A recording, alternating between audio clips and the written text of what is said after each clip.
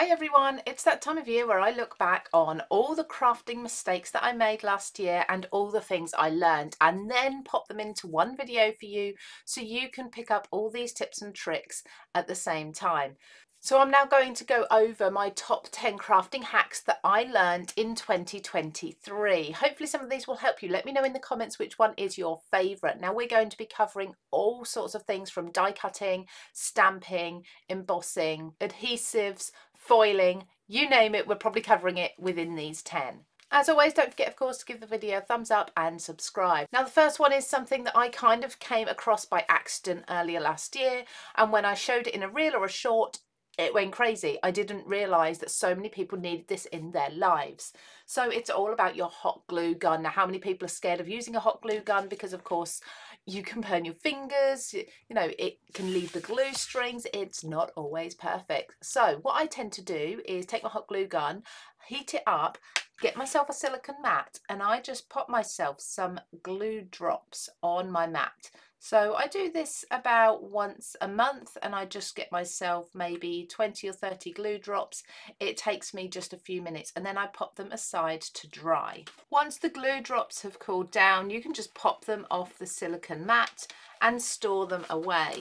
Now I tend to come to these when I need just the tiniest little drop of glue. I don't need to worry about waiting for my glue gun to heat up Plus, it's a lot safer and a lot easier. All you need to do is take the appropriate size glue dot because of course you can make these small and large. Pop it where you'd like to use a glue drop. So this is usually for my heavier and uh, different materialed embellishments like this wooden star. And rather than using my wet hot glue and putting the star directly in it while it's still warm and rushing, I can be careful to position that exactly where I want it and then gently just warm it with my heat gun, which of course is instant heat. So that takes about 10 seconds to just remelt that hot glue. And as soon as that's gone transparent, I can put my embellishment into it. Now I have got absolutely no glue strings and that is instantly adhered. When I did a tutorial showing you all this next crafting hack, I was blown away with the comments. So thank you all for watching that and you can still watch the full tutorial. I'll link them all down below. But this is about foiling with your die cuts without a foiling machine. So I've got some Hunkydory holographic mirror card here. I've die cut one of my favourite dies here, the Alphabet Brush Strokes die. And I'm going to just place it onto some black cardstock. Now you may say, well, that's already given you the kind of foiled look, but it hasn't because the die cut is still raised up. So if you take a look at this really closely, you've still got dimension in there. It doesn't quite look like it's foiled. It obviously doesn't look as if that foiling is embedded into our cardstock. Once you've adhered your mirror card or mirror paper, I like to use the lightest weight I can find, to your cardstock, you want to find yourself some rubber mats. Now, many die cutting machines will come with these and we often just put them aside, don't use them as often as we should. I've got a variety of different thicknesses here so I can work out which one I need. So I'm going to take out the thinnest plate from my die cutting sandwich and I'm going to place my cardstock between two rubber mats. Obviously, you may need to experiment with which ones will fit through your machine. Now let's take a look at this close up. So you'll see now the foiling is completely embedded into the cardstock. It's super smooth and you're going to have so much fun with this technique. Check the back of the cardstock and you should see where that mirror card has been embedded in. While we've got our rubber mats to hand, let's go to hack number three. So this is all about embossing with your dies, particularly your nesting dies. Now, all dies you can usually emboss with. If they are the dies where you have to snip elements out of each other, they're not as easy until you've done the snipping. But nesting dies are perfect. Now you can use any shape or size of nesting die and any amount of them that you want. Just lay down a rubber mat in your plates or your sandwich, put your cardstock down, then your nesting dies with the dies facing downwards, and then your plate on top. And you have got subtle texture that you can use in the background of a card or just to subtly frame something on your card. So the fourth crafty hack is helping you out when you haven't got quite the right embossing powder. So I found that I needed a deep purple embossing powder and I didn't have it. So I found myself the perfect colour cardstock and I put clear embossing powder in the design that I wanted all over my purple cardstock. So once that's set and cooled, I can now go in with my colour ink that I wanted in the background. In this case, it was going to be black. Because I'm covering a large area, I'm using a really large flat blending brush Now I'm using a dye-based ink for this so that the pigment doesn't stick to that clear embossing powder. And I'm just going to buff off the colour from the embossing powder, revealing a really bright colour. And it just looks, because they're glossy, as if I've used a purple embossing powder on black cardstock. Craft hack number five is removing panels that you've stuck down using double-sided tape. So sometimes we put something on a card base and we think actually we'd like to mat something underneath that. It's the wrong size or colour card base or we've just put it on at an angle. So the easiest way is to take your heat tool and just warm up that glue. Now I'm doing this from underneath because I have heat embossing on my panel that I don't want to melt. But if you don't have heat embossing and it is just some pattern paper or plain paper, you can can do this from the top. And as you see, as you start to warm that up, the card will lift off with the glue from your card base. So my card base is perfectly clean there, a bit warm, but it's clean. And my tack, my sticky, is still on the back. Now this is still sticky as well, even though it's just been melted. Now I made this card a few months ago, so you don't need to hurry to do this before any glue dries. You can actually come back to older cards and remove the panels if you want to. Now this leads me really nicely into tip number six. So imagine I've just stuck my topper down on my mats and layers onto my card and I realise oh, it's upside down. What on earth do I do? This is such a simple tip for you. If you didn't use double-sided tape, so you can't use the heating method to remove this, say you used wet glue and it's too late to lift it up, you know, sometimes we notice these things last minute. Simply measure the length of your card.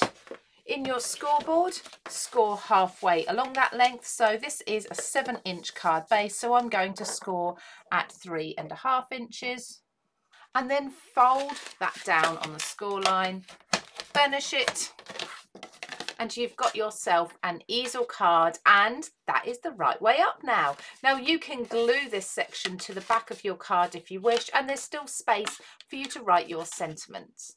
Now, as you all know, I'm a huge fan of Distress inks and Distress oxides, but it was only in the last year that I truly understood the difference between the two. So here's a little clip that I've created in another video to explain to you what the difference is between Distress ink and Distress oxide. So Distress ink is made up of a dye and the dye is completely saturated within a liquid. When you put it on top of paper, those colour particles in the liquid soak into the paper. Now an oxide is made up of a dye and a pigment. So it has a dye base which will soak into the paper as well, but it also has pigment particles. Pigment particles. Now these are going to not soak into the paper. If you imagine mixing sand and water together, and that's basically how pigment mixes into water. It doesn't actually get into the liquid, it just floats around as particles in there. And it's that pigment of the oxides that sits on top of the paper, it doesn't soak in. So although we have a dye in both inks and oxides, with the oxide we have the additional pigment. This gives it its really vivid colours. It gives us the ability to layer and mix colours as well. And it also gives us more of an opaque look too. Now because the dye in inks actually soaks into the paper, that means that that dries a lot quicker. With pigments, they sit on top of the paper much, much longer. We have time to blend them and mix them together before they dry. Now this has also helped me out in lots of other ways because it also helps me understand other inks. So for example, my Memento ink is a dye ink. So I know now that that's going to soak into the paper and it's going to dry really quickly. And I also know that my VersaFine is a pigment ink. And because of learning about the Distress ink and oxide and about pigments, I know that this is going to sit on top of the paper and it's going to take a little longer to dry. craft hack number eight is to save the waste from your dies, particularly if you don't have the blank silhouette die to match an outline one. So I've just die cut this butterfly and I'm going to use this waste here to stencil the colour that I want through. Now, because my cardstock, obviously I can't see through it, I'm going to place a pencil mark directly in the centre where I want my inking to be or my butterfly die cut to go in a moment. Then I've got a central point for my butterfly there. And I'm going to use some blending inks. Now you don't have to use blending inks here. You can of course use your colouring pencils, your alcohol pens, whatever it is you prefer to colour with. But we're just using this as a silhouette to brush some ink through. And we have now got the perfect coloured outline for our die cut to sit over the top of. How beautiful is that? Crafty hack number nine is something that I've been doing for years to be honest but I just did a video on it in 2023 for CraftStash and I didn't realise not many other people do this. So this is all about placing your dies I suppose upside down in your machine. So usually we were taught I think to die cut with your cutting blades facing downwards. So your die is on top of the paper and run it through your machine. But I used to work with a company that had extremely delicate and intricate dies and I actually discovered that placing my die the other way round, so the paper is on top of the die in the sandwich, gives us a much better cut. So now lifting this out after running it through upwards, you can see, although it was a particularly intricate die, everything's just falling out absolutely beautifully. Now by using your die this way round, I've personally never had a die that I can't cut through beautifully. Now finally craft hack number 10. If you've ever had stamping that has resulted in a bit of a blotchy image like this with a brand new stamp and you're thinking, oh, what can I do about this? I can't get a clear impression. My hack is to take a simple pencil eraser and I like to use the large flat ones. It covers a bigger area and I just brush over the surface of the stamp. Now this can happen with absolutely any type of stamp.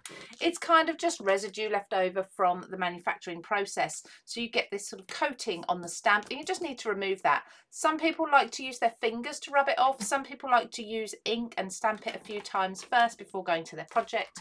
But I just find this works every time for me. I'm not wasting any ink and I do have a lot of hand creams and oils on my hands very often so they're just not going to help.